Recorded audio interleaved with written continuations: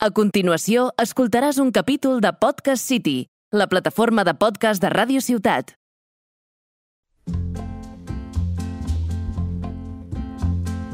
Ahora parece que yo Hola, sonrisa bonita, ¿cómo estás?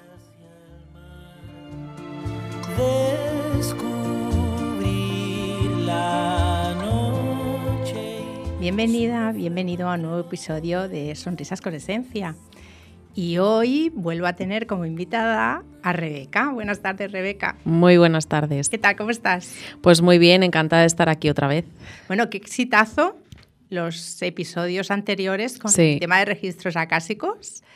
Y ayer hicimos un directo también que surgieron muchísimas preguntas. Hicimos un directo en Instagram. Sí, Eh, ¿Qué te parece si repasamos un poquito qué son los registros acásicos? vale, así rápidamente.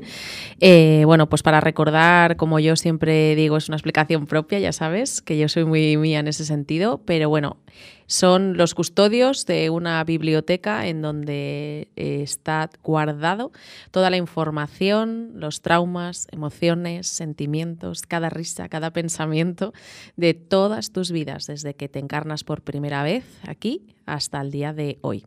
Nada, o sea, muy poquita información. Muy o sea, poco. nada. Nada. Suavecito. Es como un archivador así pequeñito de tu, tu vida. Si lo tuvieran que digitalizar, madre mía. sería- No, es muchísima información a la que se puede acceder. Bueno, ¿te parece si pasamos a las preguntas que nos hicieron ayer Sí, yo creo en que el sí. directo? Vale, vamos a la primera. ¿Qué puedo saber de mi pasado? Vale. ¿Qué puedo saber eh, de mi pasado? iba a decir. es que iba a decir todo, todo. eh, a grosso modo, todo. Sería la contestación, sería todo. Pero sí que es cierto que hay veces, que esto ya lo hemos hablado tú y yo muchas veces, que hay información que no dan porque la persona no lo va a soportar. Y esto hablamos también en, los otros episodios, en el que hay veces que hay información que se restringe porque la persona no está capacitada para poderlo soportar emocionalmente y, y hay información que se restringe. Pero, mira, la voy a asemejar a una pregunta que suele hacer la gente. ¿Cuándo me voy a morir? Es que, que, claro, no te van a decir la fecha, entonces no te pueden decir a lo mejor ciertas cosas de tu pasado porque alteraría tu presente. Entonces, la respuesta corta sería todo, pero alargada sería depende de lo que puedas soportar emocionalmente.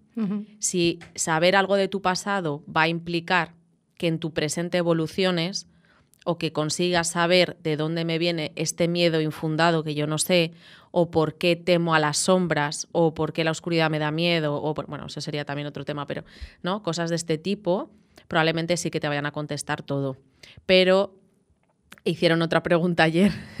hicieron otra pregunta ayer de eh, ¿puedo preguntar si he sido asesino en otra vida o algo Sí, así? sí, ¿no? sí, sí, sí, exacto. eh, a lo mejor directamente no contestan. Es verdad que a mí en muy pocas veces me han dejado de, de contestar algo, pero me ha pasado de hacer la- lanzar la pregunta, cri, cri, literalmente. Hombre, creo que esto es como el que quiere ver una película de miedo y sabe que va a pasar mucho miedo y que se tapa la- los ojos, pero está con los dedos abiertos, ¿no? Correcto. Es un poco, hay que tener muy claro qué queremos, qué queremos preguntar y qué vamos a poder... Yo creo que sería, como afinar esa pregunta, sería, sería ¿qué sería bueno que supiera de mi pasado que haría que hoy evolucionara correctamente o pudiera evolucionar mejor? Genial. Porque, insisto, y esta, esto lo dije en el otro episodio, no preguntes de lo que no quieres saber la respuesta. ¿Y de qué pregunta todo el mundo? De eso. Otra pregunta. ¿De dónde vengo? ¿De dónde vengo y a, dónde voy? Sería, ¿no? ¿De dónde vengo? Esa es muy buena, esa te van a, te van a contestar siempre. Eh, lo que pasa que siempre con matices. ¿De dónde vengo? ¿De familia? ¿De dónde vengo? ¿De ubicación? ¿De dónde vengo? ¿No? Es, es muy genérica de dónde vengo. Eh, la ampliaría. Claro, partimos de la base que si a mí en registros, en sesión, me dicen esta pregunta, le diría lo mismo que te estoy diciendo a ti, ¿no? Eh, de dónde vengo es de ubicación, es decir, quiero saber que he sido egipcia, por ejemplo, o africana, o de dónde vengo. Eh, o de dónde vengo de clan, si estoy en mi mismo clan siempre, de dónde- si mi madre siempre ha sido mi madre. Quiero decir, habría que matizar el- el- la información que quiere la persona realmente. Claro, aquí añado yo, porque esta pregunta viniendo de una persona adoptada, Uf. Se lo van a decir, yo creo, ¿eh? Se lo dirían. Pienso, o quiero pensar que sí. A ver, matizo como la pregunta anterior. Si no lo va a poder soportar, no creo que se lo dijeran. Pero yo, sinceramente, por la experiencia que tengo, creo que sí. Creo que se lo dirían. Es que realmente es importante saber de dónde vienes. claro, porque es que yo, ahora que te estoy haciendo esa pregunta, estoy pensando, claro, a nivel sanación, si tú tienes que sanar, Todo tu linaje, vete tú a saber dónde buscas. Claro. Correcto, Sí, sí. correcto.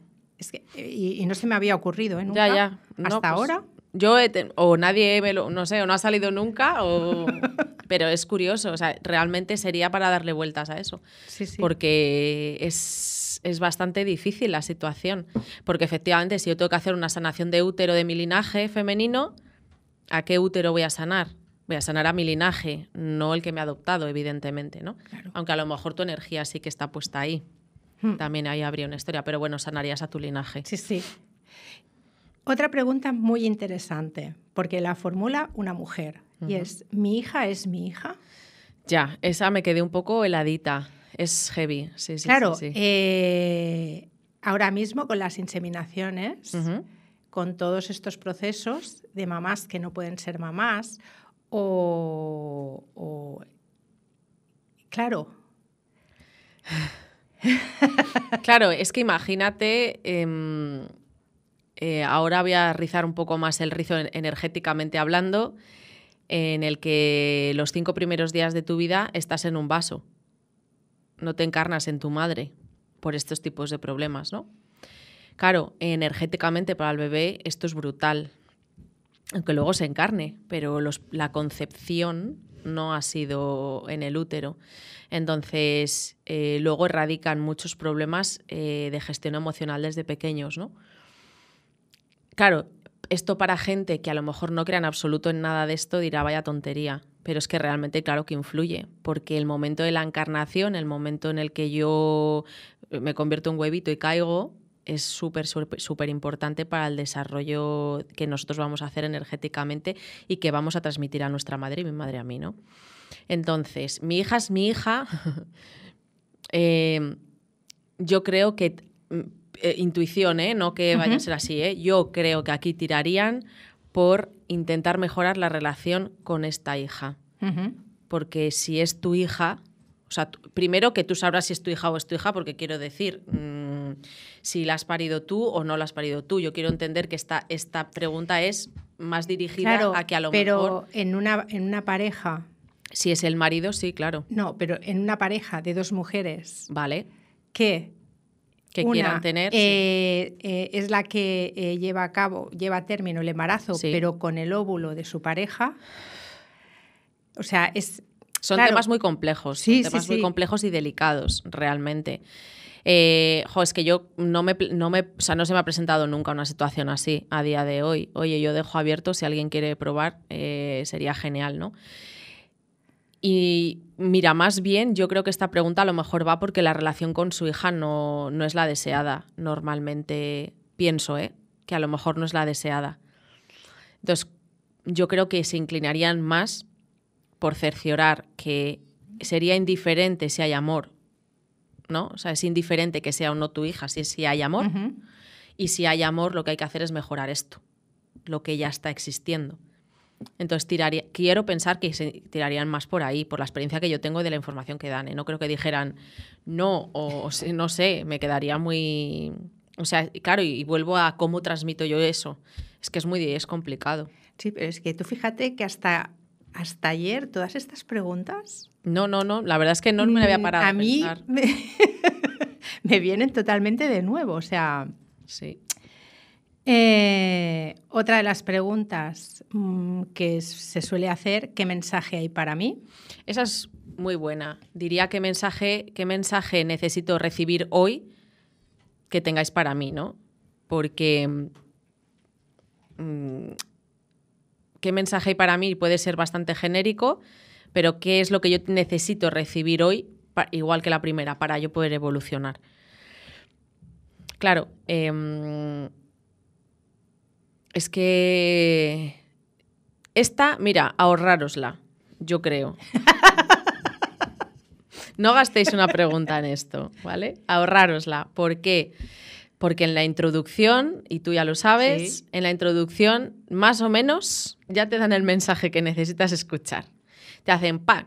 Entonces tú te quedas un poco como los ciervos cuando les dan las largas en la carretera y luego te digo, bueno, venga, ¿qué preguntamos? No lo sé. De todo lo que traes traigo 15 preguntas, pero ahora no lo sé. Entonces yo creo que esa se podría ahorrar, porque te van a contestar en la introducción. Sí, sí. Lo que pasa que cuando escuchamos la introducción, cuando yo vengo pensando en preguntar por si compro fresas en el supermercado y me están hablando de aquel fantasma que yo vi de pequeño, hay gente que se centra en, no, no, yo vengo al super... ah, fresas, ¿tengo que comprar fresas o no? ¿Sabes? Y entonces te están diciendo que aquel mm, fantasma que viste era tu abuelo que venía a darte un mensaje, ¿no? Las fresas. Entonces se olvidan y luego preguntan, ¿y qué mensaje tengo para mí? Y otra vez te dicen, y, y suelen decir, ya te lo hemos dicho al principio. Entonces voy al principio, voy al principio, tú, tú, tú, tú, tú, tú. Suelen ser insistentes, ¿eh? por eso por lo menos conmigo, eh, con respecto a- a la- al mensaje que yo tenga que dar, suelen ser insistentes si realmente no les estás haciendo caso. Bueno, lo que decíamos, ir sin expectativas y sin, o sea, con cerrados de miras, ¿no? O sea, hay que ir con la mente totalmente abierta. Sí, abierta y predispuesta Sí. a lo que va a recibir. Sí. La, a la siguiente pregunta, que, que hace referencia también a algo que has mencionado también de, de otra pregunta, ¿maté a alguien en otra vida? Es que sabes lo que hemos hablado antes, es complicado. Yo creo que todos, y esto creo que lo hablamos en el directo, Sí. todos hemos sido el asesino de alguien. No hablo de matar, pero sí hemos sido la persona mala, el malvado, la maléfica o el maléfico de la vida de alguien y a día de hoy tienes que tener claro de que eres el maléfico o la maléfica de la vida de alguien. Es que estoy convencida de esto. Aunque tú siempre lo hagas todo de buena fe, aunque tú siempre lo hagas todo desde el amor y seguro que hay alguien que, que te mira y dice, es que estoy convencida. Porque a lo mejor ha tenido una experiencia contigo en el pasado, se quedó anclado en ese pasado y no conoce a la persona que eres ahora, por ejemplo, ¿no? Y te cataloga como hace 10 años o como hace 15 o como hace 20. Ah, porque tú con 15 años me dijiste, No, bueno, con 15 años, mujer, anda que no ha llovido de entonces, ¿no? Pero es gente que normalmente se queda albergando todo ese tema. Mm, sinceramente, mm, así como tal, esa, esa pregunta no creo que la contestaran directamente. No lo creo. Sí que es cierto que, eh, fíjate, incluso han salido asesinatos de otras vidas, o bien que ha sido asesino o asesinado o juzgado, pero con otro tipo de preguntas. Con esto que quiero decir que si necesitas saber si has sido un asesino, te lo van a meter en cualquier pregunta, que, bueno, en cualquier pregunta no, pero en cuanto lo puedan hilar, lo van a meter directamente. ¿Para qué estoy aquí en el plano físico? Para, para que estoy aquí en el plano físico, entiendo que es por el tema de evolución, ¿no? Eh, Sí. Propósito de vida o... Es la pregunta más recurrente. Es que el propósito de vida... Yo es que considero que hay diferentes, o sea, que no tenemos un solo propósito. No, no, porque no. a medida que sanamos vamos teniendo otros propósitos. Correcto. Es un poco complicado. Totalmente de acuerdo. Lo que pasa que sí que es cierto que con el propósito de vida, yo, em, hombre, claro, a lo mejor te dicen ayudar a las personas, ¿no? Es, eh, parece muy general, pero ayudar a las personas implica que tú sigas sanando, que tú sigas evolucionando, que tú sigas formándote, ¿no? que tú sigas tu camino para seguir ayudando. Entonces te está invitando a que sigas superándote a ti mismo. Eh, hay gente, por ejemplo, mira, hay mucha gente, y esto es curioso y me de esto me suelo acordar bastante, que viene a hacer dos propósitos principales. Uno, acompañar a nuevas almas, es decir, gente que tiene que dedicarse a los niños. O bien en guarderías, o bien abrir su propio negocio con una guardería que sea, eh, pues que ven que trabaje en la permacultura, la- el, el contacto con la naturaleza, que sea una, una formación no tan reglada o tan apartada, o que entiendan si un niño tiene que estar levantado porque su mente imaginativa, curiosa, necesita estar levantándose y hablando con todos, que no le coarten y le sienten a una silla. Y a mí esto me parece importante, ¿no? Entonces hay gente que ha venido y fíjate, esto yo creo que, que está pasando porque vienen muchos niños cristal, muchos niños índigo, muchos, ¿no? Sí. muchos niños que vienen a revolucionar un poco el mundo, eh, este despertar de almas que está viendo y ahora mismo es como una llegada masiva de un montón de almitas que tienen que ser guiadas. Y si no caen con gente que a los padres les abra los ojos de, oye, se puede hacer de otra forma, es complicado. Y por contraposición, me he encontrado con mucha gente que viene a hacer acompañamiento a la muerte. Mucha gente. Y esto normalmente dicen, claro, efectivamente, es que a mí me encanta, siempre me han gustado los muertos, por ejemplo, ¿no? Otra persona, me acuerdo que ese se me quedó grabado, eh, que quería ser forense. Tenía que hacer acompañamiento a la muerte.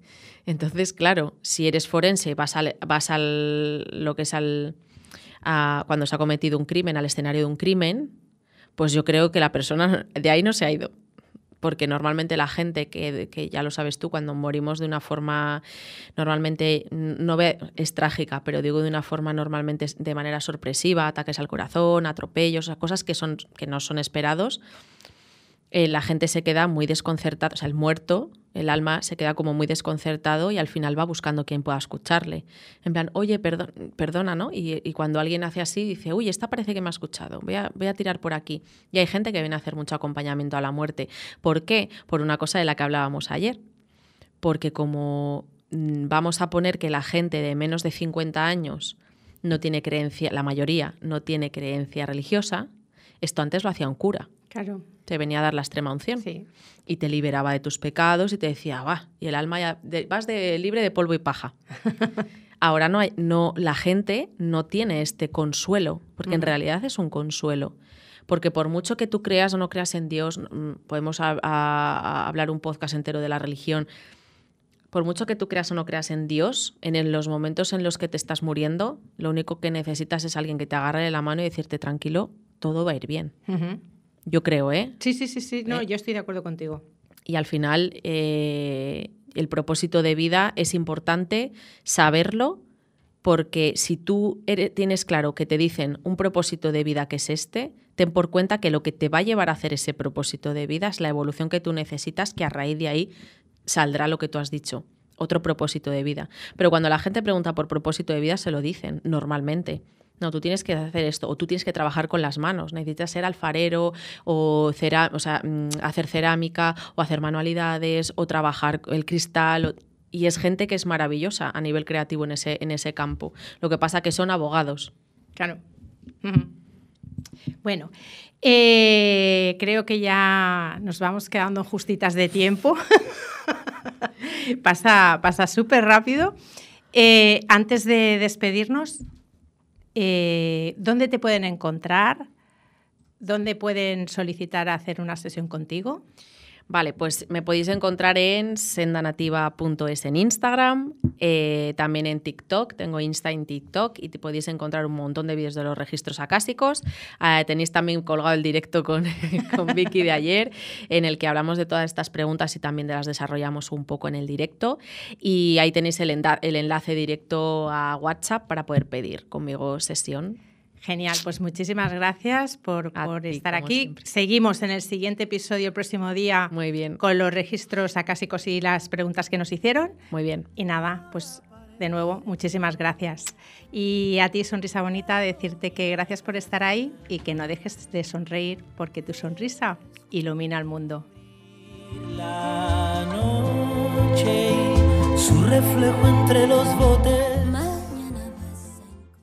Has escoltat un capítol de Podcast City, la plataforma de podcast de Ràdio Ciutat.